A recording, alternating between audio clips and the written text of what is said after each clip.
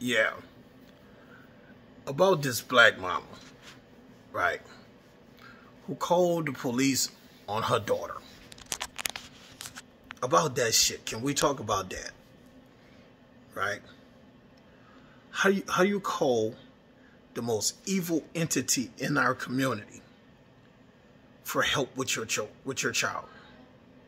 Like like I'm equally pissed off with the mother of this child because in calling them cops, what she was really trying to do is get out of doing her job. Okay? That's what she's trying to do. She's trying to outsource the discipline of her child to white cops. Now, they come in there to kill her. Okay? They have no other objective. They love when they get calls to our neighborhood. It gives them an opportunity to hit their quota. So she calls this these cops for you in you in Rochester. You call the police, you know the race of people who's showing up. I've been in Rochester. You know who's gonna show up. So the only reason I can see for you doing that shit is you wanted them to come there and harm that child. So that's why I don't, I don't even agree with with them giving this child back to this woman. You know, if that child is calling for her dad in a, in a time of crisis like that, she needs to be with her dad. It's obvious that there's something going on in this house where she needs to be with her dad, and that's okay. She has a father. You know, this this this nine year old is screaming on the ground. You know, I want my dad. If you had cops who gave a shit, that was a good opportunity to, to, to say, hey, let's call her dad. Sweetie, calm down. Here's a phone, call your dad. Let's see if we can get him involved. To, since y'all go, since y'all have been pulled into some family bullshit. But the only reason I can see calling the cops on your kid is you want them cops to come there and kill your kid. Okay? Historically, that's what white cops do. They show up, they kill one of us. So why in the fuck would you call them for help with your kid? Unless you wanted them to harm your kid. We can't do that shit. Like, we don't have the luxury of calling the police to help us with situations.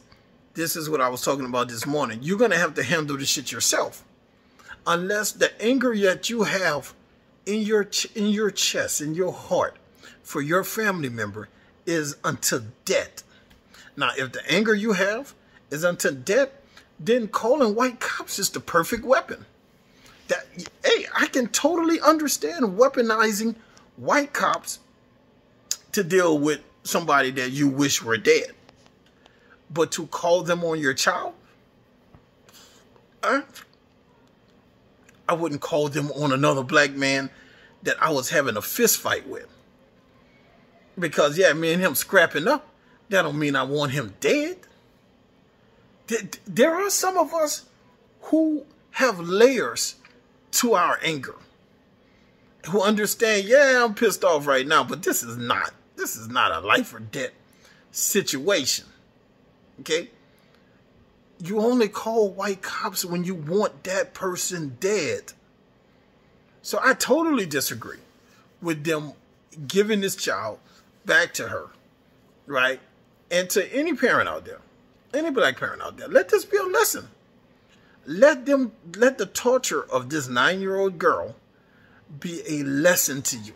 And I don't expect everybody to understand this shit. I don't expect, you know, I have daughters right? So to hear that child calling for a daddy, and I'm on the other end of this phone, like I can every cell in my body wants to respond when she keeps screaming out daddy like that. Like every fucking thing in me wants to reach through this phone, right? And, and just go the fuck off on them cops. Everything in me. It's the helplessness of it that's equally frustrating. But our history in this country with white cops is a very bloody, deadly history. They joined the force for one reason, to kill us. And we, as a, as a community, we have to do what the Jewish community does. They don't call the cops every time they have an issue amongst themselves. Have you noticed that? The Jewish community they will handle that shit themselves, amongst themselves, with their elders. We have to get back to that and stop inviting these evil ass serial killers, right? These these city funded serial killers into our into our lives. Don't even invite them into your life. Okay? Especially if it's a boy. Don't even invite them into your life. Let tempers cool down and then resolve that shit. Because the only time the only time white cops are on the side of your black son is when they're escorting his football team to a football game. After that, that is an enemy. And they need to be treated as such.